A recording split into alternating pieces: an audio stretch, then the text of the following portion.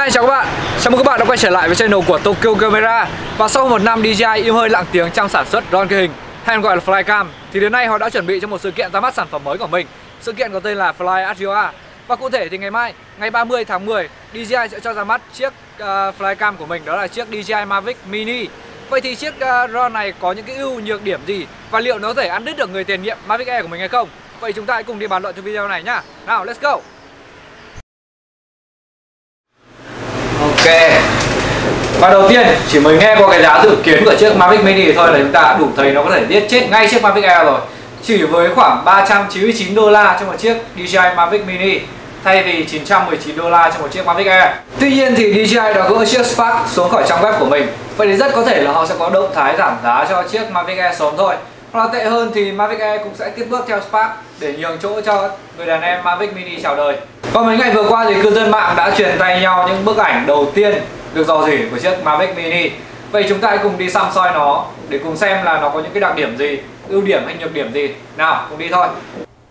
Ok và với bức ảnh đầu tiên đó là bức ảnh trên tay chiếc à, DJI Mavic Mini thì chúng ta có thể thấy là chiếc drone này rất là nhỏ gọn nó chỉ nằm gọn ở trong lòng bàn tay của chúng ta thôi và theo như một cái thông tin dò dỉ thì cái chiếc drone này nó có trọng lượng chưa đến 250 gram và nó chỉ vào khoảng độ 240 240 đến 245 gram thôi. Tức là nó sẽ nhẹ hơn cả chiếc DJI, DJI Spark. Và chiếc DJI Spark của chúng ta thì nó sẽ có trọng lượng khoảng 300 gram. Đó. Vậy thì tại sao lại nhẹ hơn 250 gram? Thì uh, theo luật pháp ở một số nước trên thế giới với những chiếc drone có trọng lượng dưới 250 gram thì cái việc xin giấy phép nó sẽ rất là dễ dàng hoặc là nó sẽ không cần phải xin giấy phép nữa luôn. Đó là một lý do vì sao mà chiếc drone này chỉ nặng, chưa tới 250 gram. Và đây là bức ảnh thứ hai trên tay khi mà gập gọn vào nó chỉ nằm gọn trong lòng bàn tay của chúng ta thôi.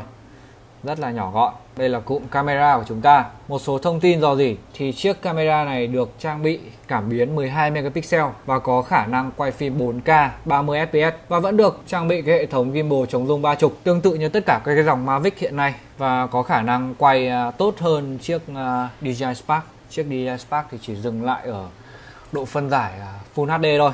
Ok, và tiếp theo đây là pin. Pin này thì nó sẽ có dung lượng là 2400 mAh và theo một số thông tin dò dỉ cục pin này có thể sử dụng uh, trên chiếc ờ, uh, DJI Mavic Mini có thời lượng uh, lên tới 18 phút uh, với một cái cục pin siêu nhỏ như thế này và có khả năng hoạt động lên đến 18 phút cũng khá là đủ cho chúng ta sử dụng. Ở một cái góc nhìn như thế này thì chúng ta có thể thấy là DJI Mavic Mini này nó chỉ có cảm biến ở dưới bụng thôi. Còn ở đằng trước này tôi nghĩ đây đây không phải là chiếc cảm biến. Chúng ta cùng sang hình ảnh này đây ở cái góc nhìn này thì chúng ta có thể thấy rõ hơn rằng là đây không hề phải là một chiếc cảm biến. Thực chất đây chỉ là một cái hộp chắc chỉ để trang trí cho chiếc uh, Mavic Mini này thêm cái phần hầm hố hơn thôi. Vậy thì uh, một chiếc drone như thế này của DJI mà lại không được trang bị cảm biến thì liệu nó có hợp lý hay không? Thì theo cá nhân tôi nó vẫn rất là hợp lý bởi vì tại sao? Với cái giá thành chỉ với 399 đô la chúng ta sẽ không thể đòi hỏi quá nhiều cho một chiếc drone được. Với khả năng quay phim lên tận 4K và rất là nhỏ gọn, thì cái vấn đề trang bị cảm biến hay không nó cũng không phải là vấn đề quan trọng cho lắm. Chúng ta vẫn có thể sử dụng nó để điều khiển một cách rất là ổn định với GPS chiếc drone này có khả năng hoạt động trong bán kính lên đến 5 km ở điều kiện lý tưởng. Và đây là hình ảnh của chiếc điều khiển. Nó cũng không khác gì so với chiếc điều khiển của Mavic Air cả. Nó cũng uh, bị lược mất cái màn hình hiển thị thông số thông tin nhanh ở trên này. Nó không còn hiển thị ở đây nữa mà nó chỉ hiển thị bốn cái vạch này thôi bốn cái vạch pin. Ngoài ra thì những cái nút khác nó vẫn y hệt như chiếc Mavic Air. Không có gì thay đổi hết nút joystick của chúng ta được giấu ở trong này. Và đây là khi chiếc uh, Mavic Mini của chúng ta được đặt cùng chiếc Mavic Enterprise. Thật sự là nhỏ hơn rất nhiều, chắc chỉ bằng ờ, một nửa của chiếc Enterprise thôi. Và ở cái góc nhìn như thế này, chúng ta có thể thấy rõ được rằng là cánh cánh của chiếc uh, Mavic Mini này được lắp luôn vào chiếc motor chứ không còn được tháo rời ra như những phiên bản trước nữa mà nó được gắn liền vào đây luôn. Đây chắc là một con ốc được bắt chặt vào đây bắt cố định vào đây luôn chứ không còn được tháo rời ra nữa. Ok và dựa vào cái hình ảnh này thì chúng ta có thể thấy rằng là pin của chiếc ờ, uh, DJI Mavic Mini này cũng không còn nằm ở dưới bụng hay còn nằm ở trên lưng nữa mà nó sẽ nằm ở phía sau này.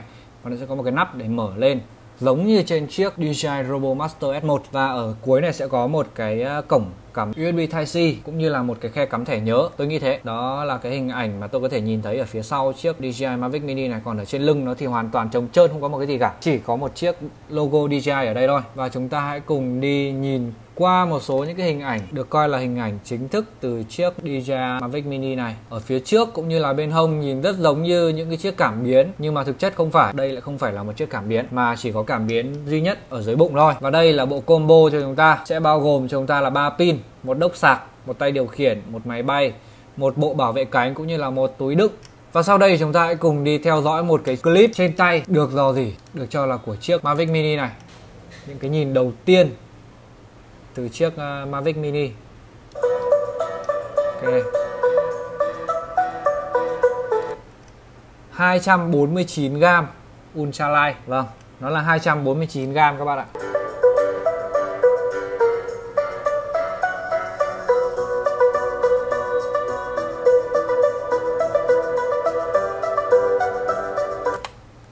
So với chiếc uh, Mavic Enterprise Dual thì nó rất là bé. Đây, nó còn dư ra một khoảng rất là nhiều đây, Và cái càng của nó chỉ đến đây thôi Rất là bé và rất là ngắn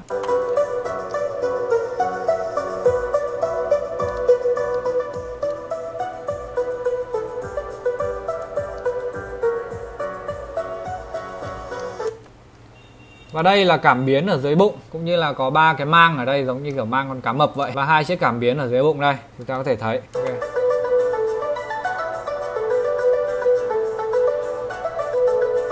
Và đây không phải là mô hình. Đây không phải là mô hình. Nó là một chiếc drone thực tế luôn, Không còn là một chiếc mô hình như chúng ta nữa, Có thể bật lên được.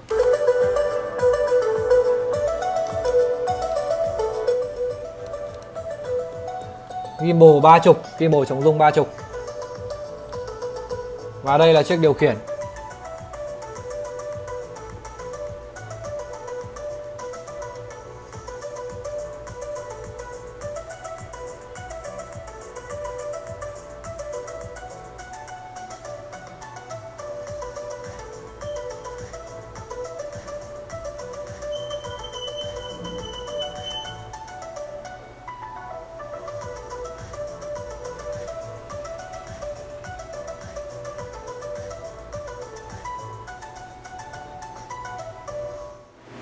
Ok, và chắc hẳn là qua những cái thông tin vừa rồi chúng ta đã hình dung ra sơ sơ chiếc Mavic Mini rồi đúng không nào? Và ngày mai thì nó đã được chính thức ra mắt và chúng tôi sẽ cập nhật thông tin sớm nhất đến với các bạn. Và có cần chờ gì nữa, hãy đăng ký ngay kênh của chúng tôi để có thể nhận thêm những video tiếp theo nhá. Và xin chào tạm biệt và hẹn gặp lại.